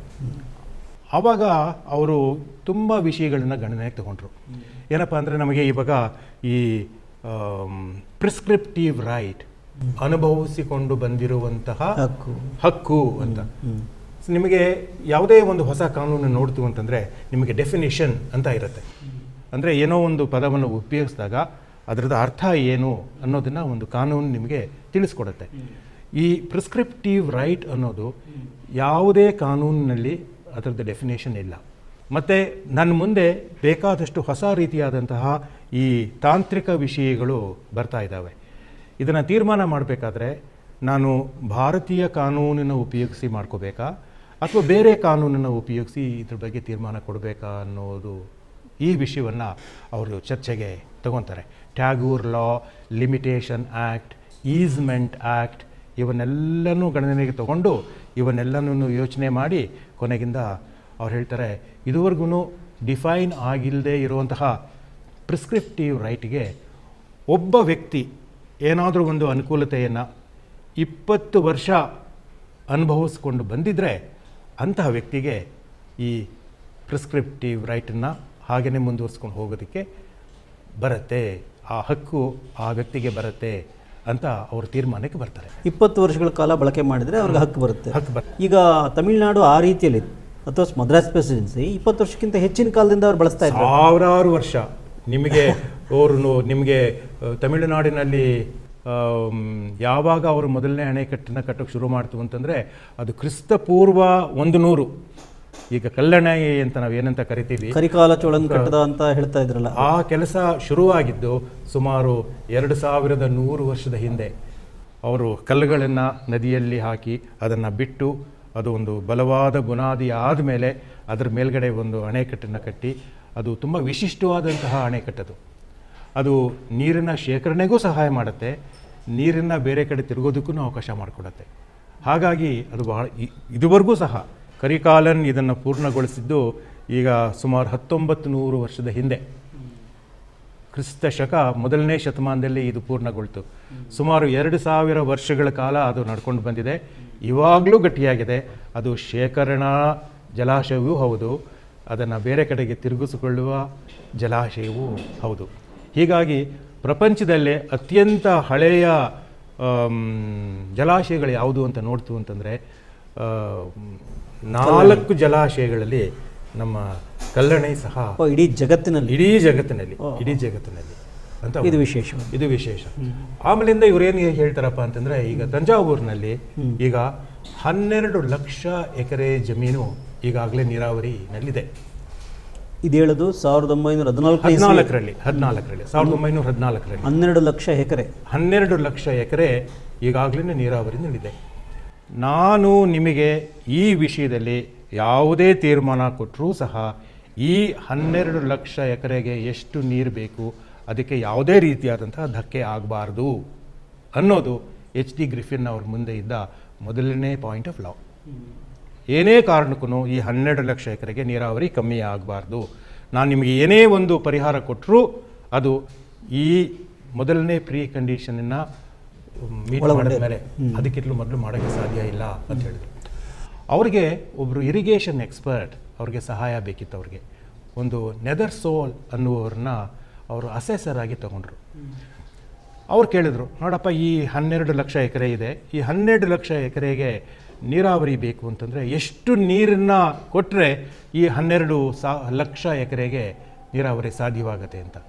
ಸೊ ನೆದರ್ ಸೋಲ್ ಇದ್ರ ಬಗ್ಗೆ ಸಾಕಷ್ಟು ಪರಿಣಿತಿ ಇದ್ದಂತಹ ವ್ಯಕ್ತಿ ಅವರು ಒಂದು ಫಿಗರ್ನ ಕೊಟ್ಟರು ಅವರ ಪ್ರಕಾರ ಆವಾಗಿನ ಕಾಲದಲ್ಲಿ ಇಪ್ಪತ್ತ ಎರಡು ಸಾವಿರದ ಏಳುನೂರ ಐವತ್ತು ಕ್ಯೂಸೆಕ್ಸ್ ನೀರನ್ನು ನಾವು ಮೈಸೂರಿನಿಂದ ತಂಜಾವೂರಿಗೆ ಹರಿಸಿದ್ರೆ ಈ ಹನ್ನೆರಡು ಲಕ್ಷ ಎಕರೆ ನೀರಾವರಿ ಮಾಡೋದಕ್ಕೆ ಸಾಕಾಗತ್ತೆ ಅಂತ ಅವ್ರು ಹೇಳಿದರು. ನಂತರ ಅದೇ ಅದೇ ತೀರ್ಪಾಯ್ತಾ ಅದಕ್ಕೆ ಮದ್ರಾಸ್ನವ್ರು ಹೇಳಿದರು, ಇಲ್ಲ ಇಲ್ಲ, ನೀವು ನಮಗೆ ಇಪ್ಪತ್ತೇಳು ಸಾವಿರದ ಏಳ್ನೂರ ಐ, ಐವತ್ತು ಕ್ಯೂಸೆಕ್ಸ್ ಬೇಕು. ಇಪ್ಪತ್ತೆರಡು ಸಾವಿರ ಸಾಲದು, ಇದಕ್ಕಿಂತಲೂ ಇನ್ನೂ ಐದು ಸಾವಿರ ಹೆಚ್ಚು ಕ್ಯೂಸೆಕ್ಸ್ ಬೇಕು ಅಂತ ಹೇಳಿದರು. ಅದಕ್ಕೆ ಅದ್ರ ಬದಲು ನಮ್ಮಲ್ಲಿ ಈ ಆರೂವರೆ ಅಡಿ ನೀರು ಹರಿದ್ರೆ ಸಾಲದು ಅಪ್ಪರ್ ನೀವು ನಮಗೆ ಏಳು ಅಡಿ ನೀರನ್ನ ಅಷ್ಟು ಹರಿಸ್ಬೇಕು ಅಂತ ಕೇಳಿದರು. ಇದು ಯಾವುದೇ ರೀತಿಯಾದ ಅಧ್ಯಯನದ ಆಧಾರದಲ್ಲಿ ಒಮ್ಮತಕ್ಕೆ ಬರಲಿಲ್ಲ. ಕೊನೆಗೆ ಈ ನಾಲ್ಕು ಅಂಶಗಳ ಬಗ್ಗೆ ವಿವಾದ ಅಂಶಗಳ ಬಗ್ಗೆ ಎಚ್ ಡಿ ಗ್ರಿಫಿನ್ ಅವರು ತಮ್ಮ ತೀರ್ಪನ್ನು ಕೊಟ್ಟರು ಅವರ ಪ್ರಕಾರ ಮೈಸೂರು ಇಪ್ಪತ್ತ ಎರಡು ಸಾವಿರದ ಏಳ್ನೂರ ಐವತ್ತು ಕ್ಯೂಸೆಕ್ಸ್ ನೀರನ್ನು ಮದ್ರಾಸ್ ಪ್ರದೇಶಕ್ಕೆ ಹರಿಸೋಕೆ ಸಾಧ್ಯ ಇತ್ತು ಅಂತಂದರೆ ಇವರು ಕನ್ನಂಬಾಡಿ ಕಟ್ಟೆಯನ್ನು ಕಟ್ಟಬಹುದು ಅಂತ ಅವರ ಆರ್ಬಿಟ್ರೇಷನ್ನಲ್ಲಿ ಇದು ಕೊನೆಯ ಲೈನ್ ಅಂದರೆ ಕನ್ನಂಬಾಡಿ ಕಟ್ಟೆ ಕಟ್ಟಬೇಕು ಅಂತಂದರೆ ನೀವು ಇಪ್ಪತ್ತೆರಡು ಸಾವಿರದ ಮೊದಲು ಅಲ್ಲಿಗೆ ಅಷ್ಟು ನೀರನ್ನ ಅಲ್ಲಿಗೆ ಬಿಡಬೇಕು. ಅಲ್ಲಿ ಬಿಡ ಅಲ್ಲಿ ಬಿಡೋದು ಅದು ಖಾತ್ರಿ ಮಾಡಬೇಕು. ಅದು ಖಚಿತವಾಗಿ ಉಳಿದಿದ್ದನ್ನು ನೀವು ಉಪಯೋಗಿಸ್ಕೋಬಹುದು ಅಂತ ಹೇಳಿ ಇದು ಕನ್ನಂಬಾಡಿ ಕಟ್ಟೋಕ್ಕೆ ಮುಂಚೆನೇ ಬಂದಂಥ ಒಂದು ನಿರ್ಬಂಧ. ನಿರ್ಬಂಧ ನಿರ್ಬಂಧ. ಮತ್ತು ಮೈಸೂರಿನವ್ರು ಹೇಳ್ತಾ ಇದ್ರು ಈಗಾಗಲೇ ತುಂಬ ಸರಿ ಮಳೆ ಬಿದ್ದು ಈ ನೀರು ಬಂಗಾಳ ಕೊಲ್ಲಿಗೆ ಹರಿದೋಗ್ತಾ ಇದೆ ಅಂತ ಹೇಳಿದಾಗ ಬ್ರಿಟಿಷ್ ಅಧಿಕಾರಿಗಳು ಹೇಳಿದರು ಹಾಗಿತ್ತು ಅಂತಂದರೆ ನೀವು ಬಂಗಾಳ ಕೊಲ್ಲಿಗೆ ಹರಿದು ಹೋಗ್ತಾ ಇರೋ ನೀರು ಮೈಸೂರು ಪ್ರದೇಶದ ಮೇಲೆ ಬಿದ್ದಂತಹ ನೀರು ಅನ್ನೋದನ್ನು ನೀವೇನೇ ಅದನ್ನು ಪುರಾವೆ ಮಾಡಬೇಕು ಅಂತ ಹೇಳಿದರು. ಬ್ರಿಟಿಷ್ ಅಧಿಕಾರಿಗಳು. ಬ್ರಿಟಿಷ್ ಅಧಿಕಾರಿಗಳು. ಅಲ್ಲ ಮಾತುಕತೆ ಎಲ್ಲ ಅಥವಾ ಕಾಮೆಂಟ್ಸ್ ಅಥವಾ ಮಾತುಕತೆನಲ್ಲೇ ಮಾತುಕತೆನಲ್ಲೇ. You must it is your responsibility to prove that the water thus flows into Bay of Bengal is the water that fell on Mysore premises premises ಅಂತ ಹೇಳಿದ್ರು. ಅನ್ಬಿಲೀವಬಲ್ ಇಂಥ ರೀತಿಯ ಒಂದು ಅಗ್ರಿಮೆಂಟ್ಗಳು ಮಾತುಕತೆಗಳು ನಡೆದಿರ್ತವೆ ಅನ್ನೋದು ನಂಬಕ್ಕೆ ಸಾಧ್ಯ ಇಲ್ಲ. ಬಟ್ ಇದೆಲ್ಲ ನಿಜ. ಇತಿಹಾಸದ ದಾಖಲೆಗಳಿವೆ. ಆಯಿತು. ಸೊ ಇದಾದ ಮೇಲೆ ಇದು ಈ ಆರ್ಬಿಟ್ರೇಟರ್ ಅವರ ಕೊಟ್ಟಂತಹ ತೀರ್ಪು ಅಂತಿಮ ತೀರ್ಪು ಅಂತ ಸಾವಿರದ ಎಂಟುನೂರ ತೊಂಬತ್ತೆರಡರ ಒಪ್ಪಂದದಲ್ಲಿ ಇದ್ದರೂ ಸಹ ಇದು ಅಷ್ಟಕ್ಕೆ ಕೊನೆಗೊಳ್ಳಿಲ್ಲ. ಇದನ್ನು ಭಾರತ ಸರ್ಕಾರ ಸಾವಿರದ ಒಂಬೈನೂರ ಹದಿನಾರರಲ್ಲಿ ಇದನ್ನು ಒಪ್ಪಿದ್ರು.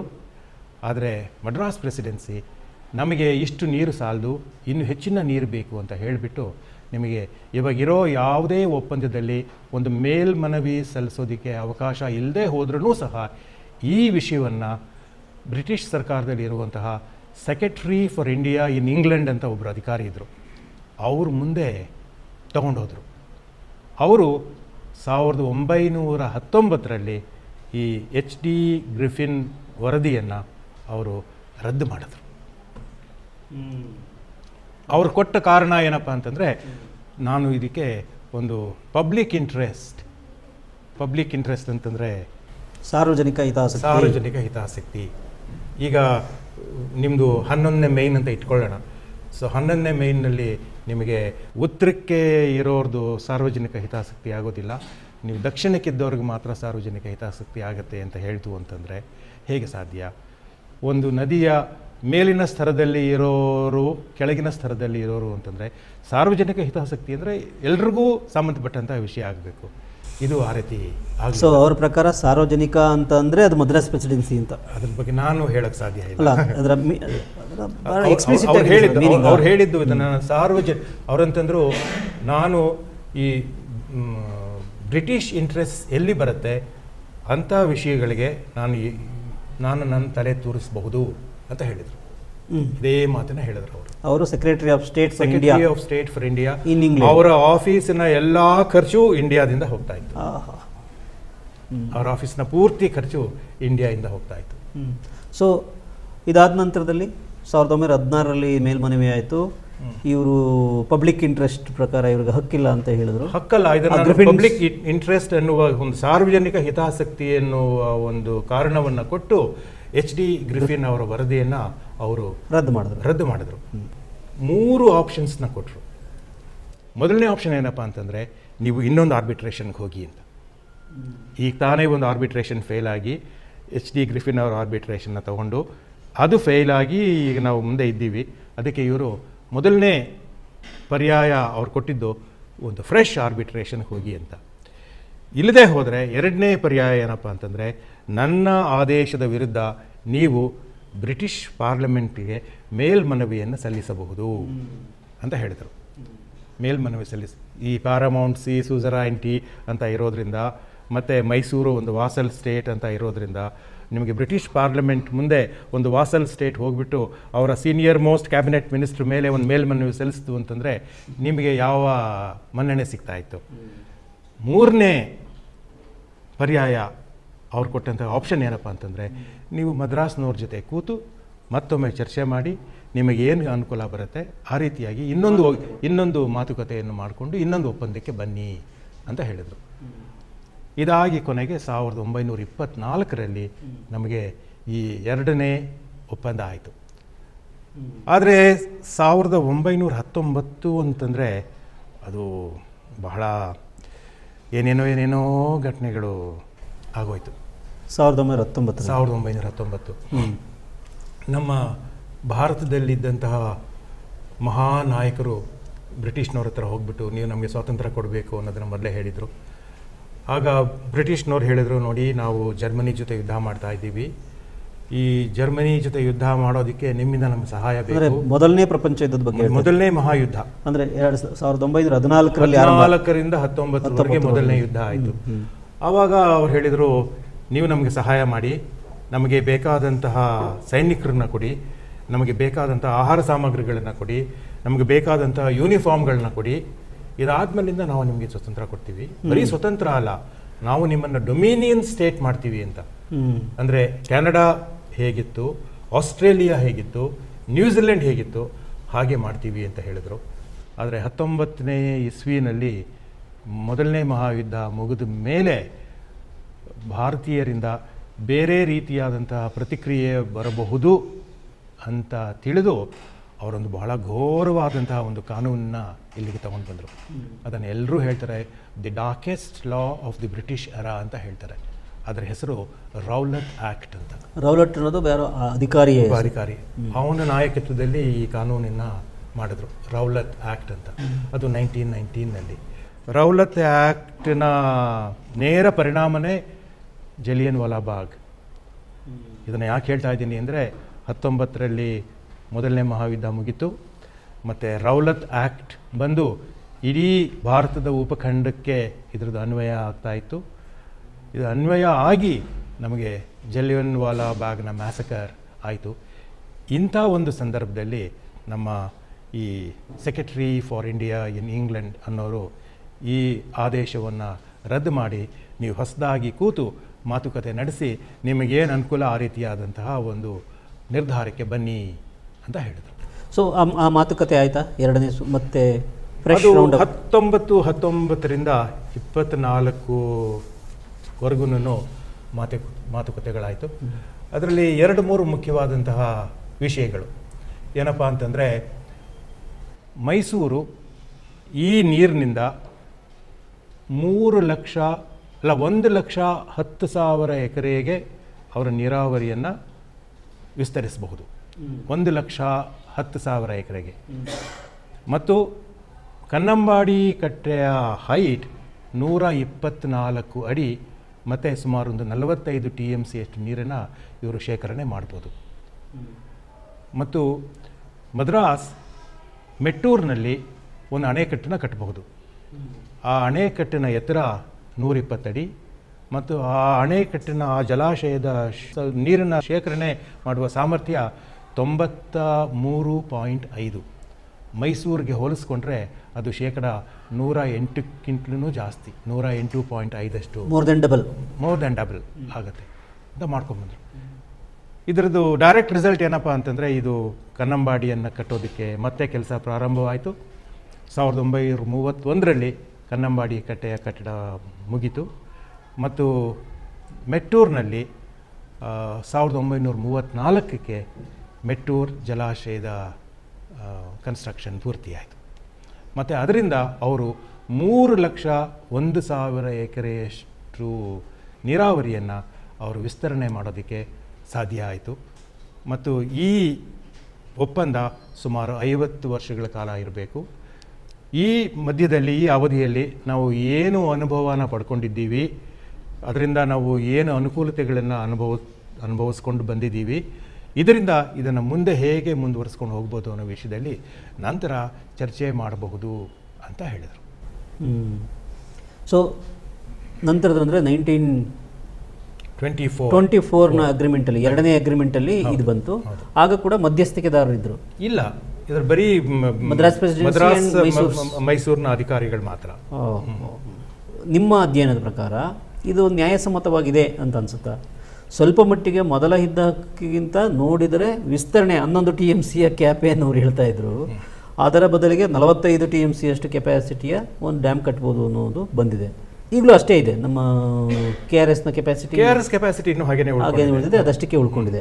ಇದು ನ್ಯಾಯಸಮ್ಮತವಾಗಿ ಇದೆ ಅಂತ ಅನ್ಸುತ್ತಾ? ಇವಾಗ ಅದ್ರ ಬಗ್ಗೆ ಹೇಳೋದಕ್ಕೆ ಏನು ಪ್ರಯೋಜನ ಆಗೋದಿಲ್ಲ. ಯಾಕೆ ಅಂತಂದರೆ ಅವರು ನಮಗೆ ಎಷ್ಟು ನೀರು ಇಷ್ಟು ಒಳ ಹರಿವು ಇತ್ತು ಅಂತಂದರೆ ಇದನ್ನು ಸಂಪೂರ್ಣವಾಗಿ ಅರ್ಥ ಮಾಡ್ಕೊಳ್ಳುವಂತಹ ತಾಂತ್ರಿಕ ಜ್ಞಾನ ಶಕ್ತಿ ನನಗಿಲ್ಲ. ಅವರು ಒಂದು ಫಾರ್ಮುಲಾ ಕೊಡ್ತಾರೆ. ಇಷ್ಟು ಒಳಹರಿವು ಇತ್ತು ಅಂತಂದರೆ ಇಷ್ಟು ಹೊರಹರಿವು ಆಗಬೇಕು. ಅಂತ ಒಂದು ಫಾರ್ಮುಲಾ ಕೊಡ್ತಾರೆ. ಆ ಫಾರ್ಮುಲಾ ಪ್ರಕಾರ ನೀವು ಇದನ್ನು ನಡೆಸ್ಕೊಂಡು ಹೋಗಬೇಕು. ನಾನು ನೋಡಿರೋ ಹಾಗೆ ಈ ಸಾವಿರದ ಈ ಇಪ್ಪತ್ತು ಸಾವಿರದ ಒಂಬೈನೂರ ಇಪ್ಪತ್ತ್ನಾಲ್ಕನೇ ಇಸ್ವಿಯ ಒಪ್ಪಂದದ ಪ್ರಕಾರ ಅಲ್ಲಿಂದ ಸಾವಿರದ ಒಂಬೈನೂರ ಎಪ್ಪತ್ತ್ನಾಲ್ಕನೇ ಇಸ್ವಿವರೆಗೆ ಮದ್ರಾಸಿಗೆ ಹರಿದು ಹೋದ ನೀರಿನ ಸರಾಸರಿ ವ್ಯಾಲ್ಯೂ ಸುಮಾರು ಮುನ್ನೂರ ಎಪ್ಪತ್ತ ಏಳು ಟಿ ಎಂ ಸಿ ವಾರ್ಷಿಕ. ಒಂದು ವಾರ್ಷಿಕ ಒಂದು ವರ್ಷಕ್ಕೆ. ಈ ಅವಧಿಯಲ್ಲಿ. ಈ ಅವಧಿ ಮುನ್ನೂರ ಎಪ್ಪತ್ತೇಳು ಮೂರು. ಏಳು ಏಳು. ಪಾಯಿಂಟ್ ಸಮಥಿಂಗ್ ಅದೆಷ್ಟು ಅಂತ ನನಗೆ ಮರೆತು ಹೋಗಿದೆ. ಮುನ್ನೂರ ಎಪ್ಪತ್ತೇಳು ಟಿ ಎಂ ಸಿ ಅಷ್ಟು ನೀರು ಪ್ರತಿ ವರ್ಷ. ಸೊ ಅದರಲ್ಲಿ ಅವರು ತೊಂಬತ್ತ್ಮೂರು ಪಾಯಿಂಟ್ ಐದು ಟಿ ಎಂ ಸಿ ಅಷ್ಟು ಮೆಟ್ಟೂರು ಡ್ಯಾಮಲ್ಲಿ ಸಂಗ್ರಹಿಸ್ತಾರೆ. ಉಳಿದ ನೀರನ್ನು? ಅವರು ಅವರ ಕೃಷಿಗೆ ಅದನ್ನು ಉಪಯೋಗಿಸ್ಕೊತಾ ಇರ್ತಾರೆ. ಉಪಯೋಗಿಸ್ಕೊತಾ ಇರ್ತಾರೆ. ಅವ್ರಿಗೆ ಹೆಂಗೆ ಅವಕಾಶ ಬರುತ್ತೆ ಎಷ್ಟು ಜಮೀನಿಗೆ ನೀರಾವರಿ ಇದೆ ಮತ್ತು ಅವರ ಅವಶ್ಯಕತೆಗೆ ತಕ್ಕಂತೆ ಅವರು ಈ ನೀರನ್ನು ಉಪಯೋಗಿಸ್ಕೊತಾ ಈಗಲೂ ವ್ಯರ್ಥವಾಗಿ ಹರಿದು ಹೋಗೋದು ಏನು ಪ್ರಮಾಣ ಇದೆಯಲ್ವಾ? ಅದು ಒಂದೊಂದು ತುಂಬ ಅಪರೂಪ. ನಮಗೆ ವ್ಯರ್ಥವಾಗಿ ಹೋಗುವಷ್ಟು ನಮಗೆ ಈ ಎರಡೂ ಜಲಾಶಯಗಳನ್ನ ಕಟ್ಟೋದಕ್ಕಿಂತಲೂ ಮೊದಲು ಒಂದು ಐದಾರು ಸರಿ ದೊಡ್ಡ ಪ್ರಮಾಣದ ಪ್ರವಾಹ ಆಗಿದೆ ಅನ್ನೋದ್ರ ಬಗ್ಗೆ ನಮಗೆ ಇತಿಹಾಸದಲ್ಲಿ ಮಾಹಿತಿ ಸಿಗುತ್ತೆ.